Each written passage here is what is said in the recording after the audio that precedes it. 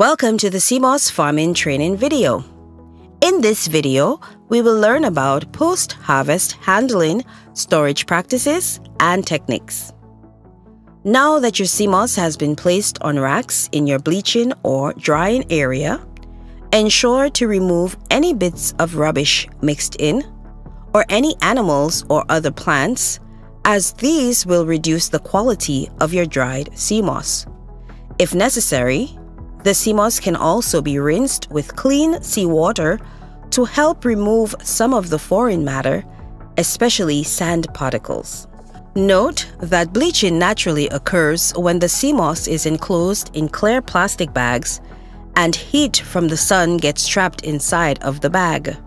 This heat will denature the substance that gives the sea moss its natural brown or green color. During that process, some of the sea moss may have to be turned over to allow for the bleaching to be uniform. Depending on the amount of heat in the bag, the bleaching process can be completed in one to two days. Once the bleaching process is completed, the sea moss is then placed on the drying rack to sun dry.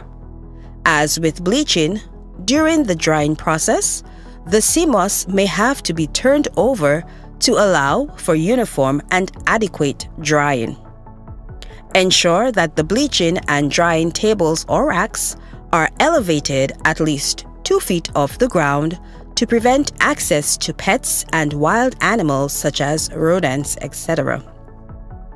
Also, ensure to create a covering to protect the sea moss from rainfall and animals, especially at nights. In a sunny, well ventilated area, it will take about two to three days for the sea moss to dry. It is best if the sea moss dries with about 30% moisture remaining. At this point, it should be pliable and not overly brittle to the touch. The sea moss can be dried directly in the sun, on the racks, or in an enclosed structure that will generate heat and allow adequate air to flow strategically through it. After the sea moss is satisfactorily dried, salt crystals will form on the outside. These can be removed by shaking the sea moss. It is now ready for sale. Please note, if the sea moss is not bleached and placed in the shade to dry, it may have a purple color. However, bleached sea moss, once dry, will be brown to light brown depending on the intensity of natural color of the sea moss.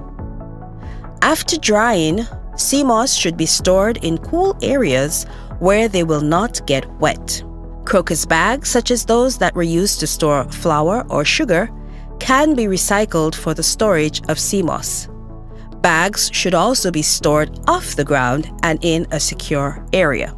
To improve the quality of the gel, Ensure that the sea moss is harvested when it is fully mature or grown. And do not overbleach or over-dry the sea moss. Harvesting immature sea moss, overbleaching, or over-drying can lower the gel content and quality. The same applies for the conversion quality from wet to dry. To improve the conversion rate, harvest mature plants and do not overbleach or overdry the sea moss.